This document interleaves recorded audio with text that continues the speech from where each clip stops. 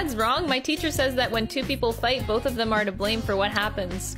This six-year-old child is more mature than I will ever be in my entire fucking life.